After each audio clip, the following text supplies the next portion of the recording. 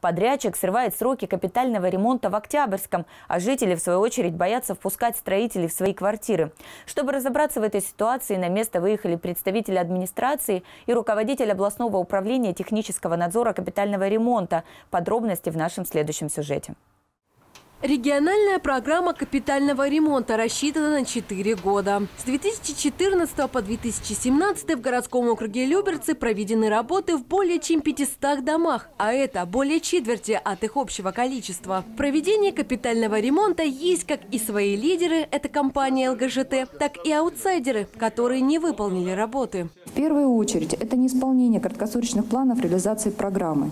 Так, в 2016 году из 117 многоквартирных домов разным причинам не закончен ремонт 26 многоквартирных домов.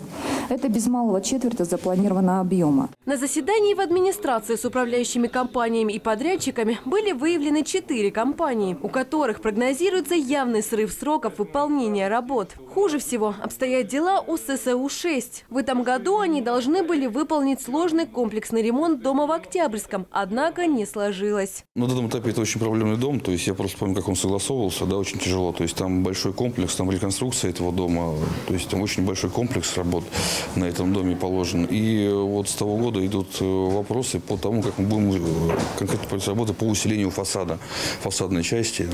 Там у жителей есть вопросы, у администрации есть вопросы, у проектировщиков есть вопросы. А вопросов к подрядчикам у жителей Первомайской 16 накопилась масса. В доме уже обновлен трубопровод, выполнен ремонт кровли. Замена электроснабжения находится на первоначальном этапе. И теперь люберчане категорически против пускать строителей в свои квартиры для продолжения ремонта. Претензий к качеству уже проделанных работ слишком много. Нам страшно пускать квартиры, потому что то, что мы видим, как, как ведутся работы в коридорах и как потом не, не доделывается эта работа. Мы хотим, чтобы на ремонтные работы в доме были взяты под контроль, чтобы на каждом этапе ремонтных работ были ответственные лица, которые приезжали, принимали эту работу. Причем это были профессионалы. И как оказалось, опасения жителей возникли неспроста.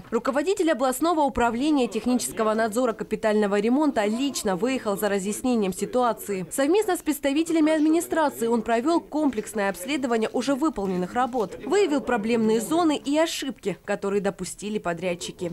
Визуально мы определили, теплоизоляция неправильно была. Также э, в кое-каких местах был пережог э, материала.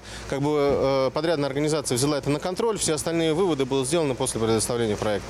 Подрядчик как бы протокольно все эти замечания будет исправлять. В дальнейшем будет проведено также комплексное обследование э, по устранению этих недочетов. Уже в ближайшее время участники инспекции соберутся в Октябрьском снова, чтобы определить, точно ли эти работы были сделаны по проекту. По словам Александра Проворова, по предоставленным документам будет вестись строгий контроль со стороны Министерства ЖКХ, стройнадзора и администрации. Анна Троян, Никита Скраган, телеканал ЛРТ.